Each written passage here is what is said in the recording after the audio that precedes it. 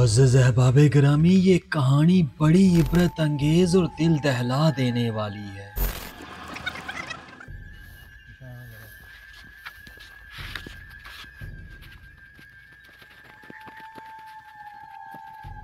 ये कहानी है एक कफन चोर की।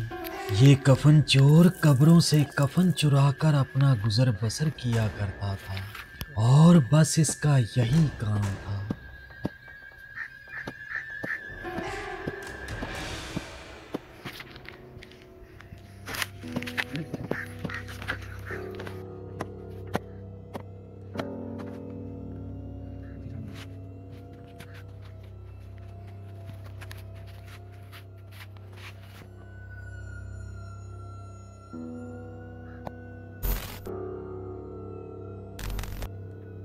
ये कफन चोर आज फिर एक कब्र से कफन चुराने की नीयत से आया।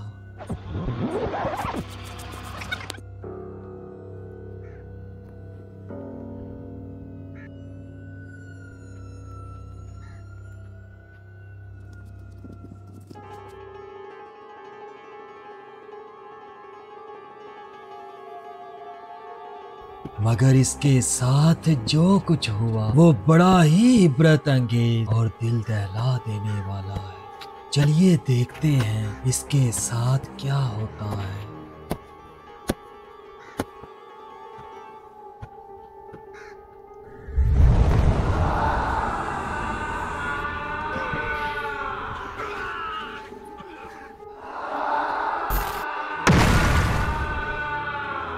कफन चोर, रुक जा।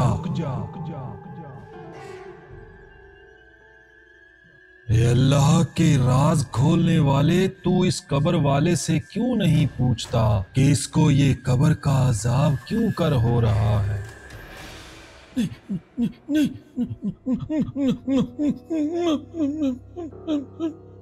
सुन सुन सुन सुन। ये एक नमाजी बंदा था। नमाज़ पढ़ता था, मगर ये नमाज़ को हकीर समझता था।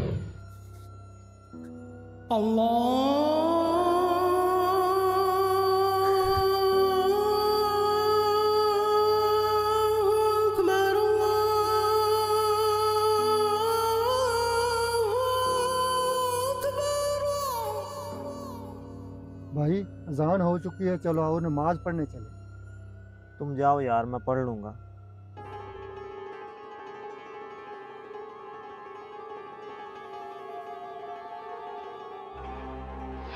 नमाज़ को बेपरवाही से पढ़ा करता था। नमाज़ को बेवकत पढ़ा करता था।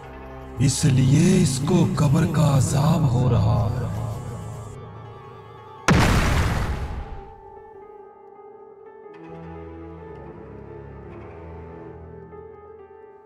प्यारे दोस्तों, ये वाकया हकीकत पर मबनी है और उन नमाजियों के लिए बड़ी तंबी है जो नमाज़ पढ़ने में सुस्ती करते हैं। नमाज़ को वक़्त पर अदा करना ही बाइसे सवाब है। नमाज़ वक़्त पर अदा करें और अल्लाह के अजाब से पनाह मांगे। और जो नमाज़ नहीं पढ़ते, वो बारीक बीनी से गौर करें। जजाकल्लाहुम खैरन कसीरा। अल्लाह तबारक व ताला हमें पाँच वक़्त की नमाज़ वक़्त पर अदा करने की तौफीक दे। आमीन। कमेंट बॉक्स में आमीन लिखकर दुआ में शामिल ज़रूर हो।